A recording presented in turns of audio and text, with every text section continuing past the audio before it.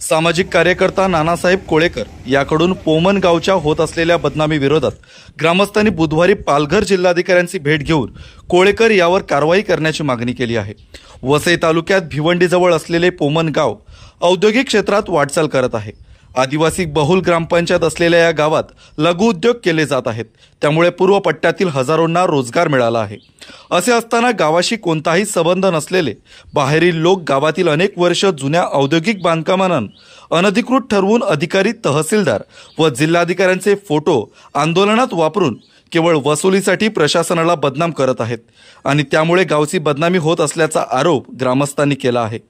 गावात या प्रकरणाचा संताप व्यक्त होत असल्याने पोमन ग्रामपंचायतीच्या सरपंचासह ग्रामस्थांनी पालघर जिल्हाधिकारी गोविंद बोडके यांची तडकाफडकी भेट घेतली व गावची बदनामी करणाऱ्या विरोधात कठोर कारवाईची मागणी केली आहे.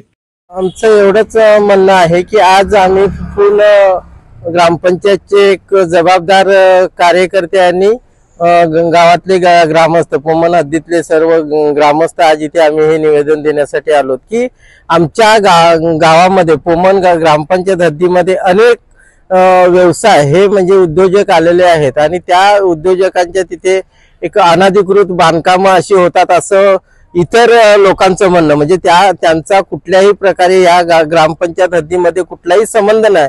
आणि जेणेकरून ते तिथे येतात चोरी चुपे येतात आणि तिथे फोटो घेतात आणि तिथे जा जाऊन त्यांना धमकी देतात काही सेटलमेंट करतात. आणि अशा प्रकारे ते नाहक बदनामी ग्रामपंचायतची ग्रा बदनामी ग्रामस्थांची बदनामी हे जिल्ह्याला आंदोलन करतात तालुक्याला आंदोलन करतात हे चुक चुकीचं आहे. आणि हे हे जर असं असंच झालं तर ही पूर्ण ग्रामपंचायतची जबाब बदनामी आहे.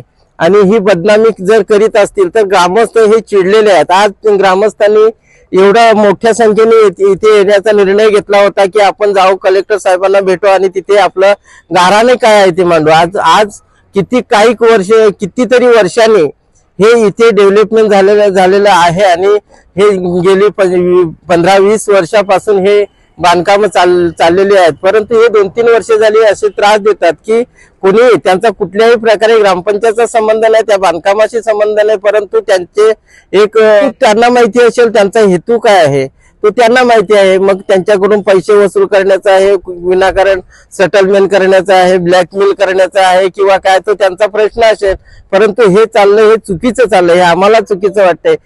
पोमन गावात ही चांगलं विकास कामं झालेले आहेत आणि चांगलं एक इंडस्ट्री एरिया आले असल्यामुळे आमच्याकडे ऐंशी टक्के समाज आदिवासी असलेला बेरोजगार होता. त्यांना रोजगार चांगल्या प्रमाणात मिळालेला आहे. रिक्षा चालक असतील त्यांना येण्या जाण्यासाठी भाडं मिळतं टेम्पोवाले आहेत त्यांना काम मिळतं. परंतु ज्यांचा पोमन ग्रामपंचायतशी कुठलाही संबंध नाही बाहेर आलेली लोक जी असतात ना समाजकंठक म्हणले जातात अशी लोक जर आमच्या ग्रामस्थांची बदनामी आमच्या पोमन ग्रामपंचायतीची बदनामी विशेष विशेष म्हणजे कलेक्टर साहेबांचा फोटो लावून त्यांनी बदनामी केलेली. म्हणजे जिल्ह्याची बदनामी होती असं तर ती आम्ही ग्रामस्थ कधीही ती सहन करणार नाही. जो नानासाहेब कोलेकर म्हणून एक आहे जो बाहेरील व्यक्ती आहे ज्याचा कुठलाही काही संबंध नसताना ग्रामस्थ खूप संतापलेले आहे जर असं चालत राहिलं तर ग्रामस्थ मोठं आंदोलन करून यांना धडा शिकवल्याशिवाय राहणार नाही. सामाजिक एखाद्या सामाजिक कामासाठी एखाद्या रस्त्यासाठी एखाद्या गटारासाठी एखाद्या पथदिव्यांसाठी एखादी आंदोलन करताना दिसत नाही. आता तुम्ही विचार करा एखाद्या व्यक्तीला एवढा वेळ आहे का आता की फुडसप मधून आंदोलन करणार व्यक्ती तो? नाही ना पण यांचा असा विषय की फक्त वसुलीसाठी हे लोक आंदोलन करतात दुसरं काय नाही.